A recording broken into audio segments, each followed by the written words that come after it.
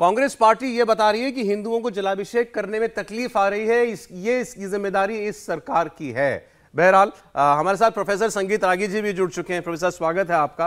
पहले तो क्या कहेंगे आप, जिस तरीके से आज सोमवार के आखिरी दिन जलाभिषेक हो रहा है नलड़ महादेव मंदिर में वहीं, जहाँ पिछली बार 31 जुलाई को गोलियाँ चली थी, पहाड़ों से घेर करके मंदिर को टारगेट किया गया था। और ये तो उस वक्त वहाँ जो बचाने गई थी श्रद्धालुओं को आईपीएस अधिकारी, उन्होंने इसकी पुष्टि की है।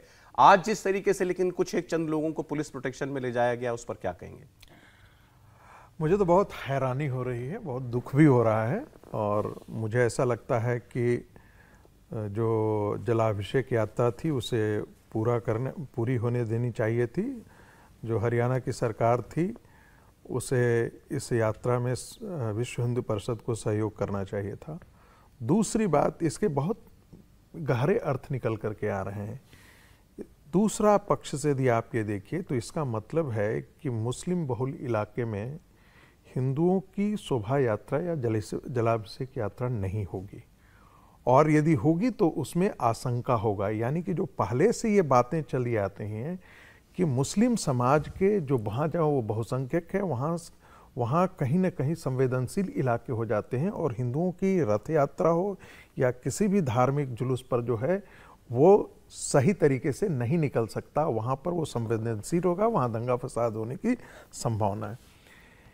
यदि इस बात को मान लिया जाए तो क्या हरियाणा सरकार को जलाभिषेक यात्रा रोकने के बजाय उन तत्वों पर अंकुश नहीं लगाना चाहिए था? मेरा एक सवाल है। दूसरा सवाल है कि जो बार बार ये कहा जाता है कि नूह मेवात में खराब किया गया, अभी कांग्रेस के प्रवक्ता कह रहे थे कि मन से पूछिए क्यों? तो मैं उनको यही बोलना चाहूँगा वो पैनल में नहीं है कि मेवात और नूह में आपने जो सत्तर साल का सेकुलरिज्म के नाम पर पाप किया है वो फूट करके अब बाहर निकल रहा है। ये कोई भी सरकार होती है तो इन परिस्थितियों से गुजरना पड़ता। यदि आप चिंता उनको हिंदुओं की हो रही है लेकिन। नहीं नहीं देखिए वो तो बहुत अच्छा उनको मौका मिला है।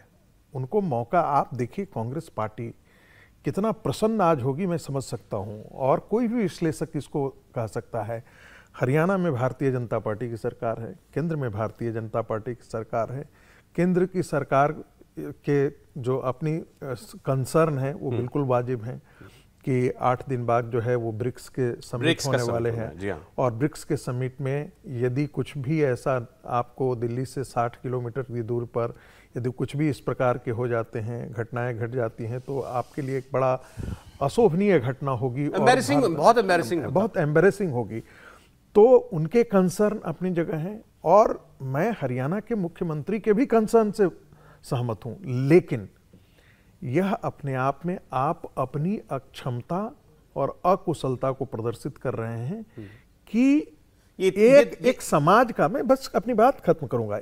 एक समाज का एक तबका यदि इस जिहादी मानसिकता में आकर के खड़ा हो और कहे कि हम हिंदुओं की यात्रा नहीं निकलने देंगे मुझे एक लगता था कि जिस यदि कहते हैं कि गंगा जमुनी तहजीब है भाईचारा है ये तो एक तरफा नहीं हो रहा है। ये शांति किसके करीब उसको छोड़ दिए सर इस नहीं, वक्त बस प्योरली एडमिनिस्ट्रेटिव मामले पर नज़रिए से सोचते हैं। मुझे दूस, नहीं दूसरा पहलू भी कि बहुत इस देश में हिंदू मुस्लिम सद्भावना गंगा जमुनी तहजीब की बात की जाती है। मैं दस सेकंड में अपनी बात खत्म करूँगा।